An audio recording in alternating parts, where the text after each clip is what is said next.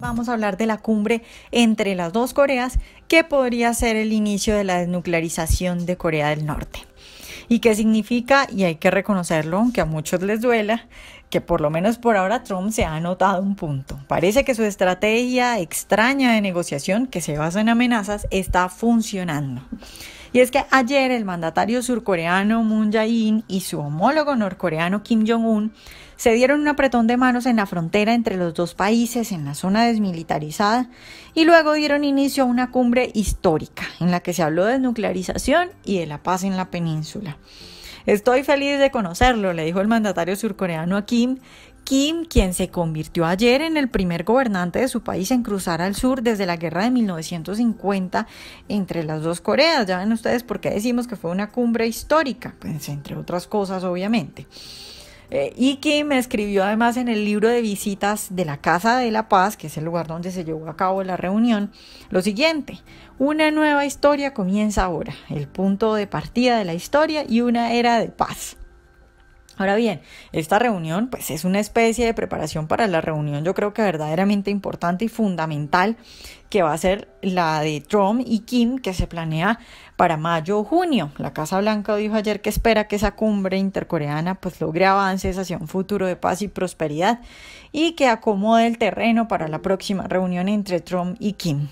Pero bueno, esta si bien es una buena noticia y es un triunfo para Trump, también hay que tener claro que pues es un pequeño paso en un largo camino que habrá que recorrer y en el que se teme que el mandatario de Corea del Norte eche para atrás.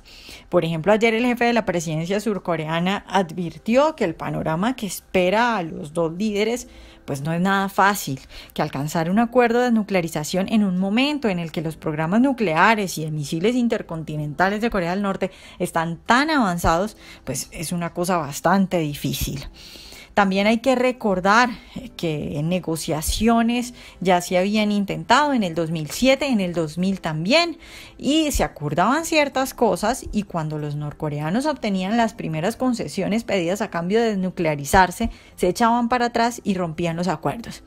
Y eso ocurría cuando no estaban tan avanzados en sus proyectos nucleares. Entonces, pues hay indicios de que podemos eh, ver a Kim Jong-un echándose para atrás. La experiencia nos dice que no podemos dar esto como un triunfo final, ni creerle a ciegas. Sin embargo, pues las cosas pintan mucho mejor de lo que esperábamos. Ahora bien, pues nos, nos, queda esperar a que las difíciles condiciones económicas de Corea del Norte, las fuertes sanciones internacionales impuestas hasta ahora y lideradas por Donald Trump, así como el estilo negociador de Donald Trump, obliguen a Kim a desnuclearizarse y a no seguir causando pánico internacional con sus amenazas y sus pruebas. No sabemos qué pasará, pero por ahora Tom parece estarse anotando un punto. Con su estilo único de negociación tiene acorralado al tirano norcoreano.